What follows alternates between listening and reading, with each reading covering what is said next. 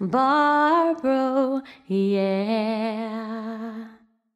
One happy birthday dot com.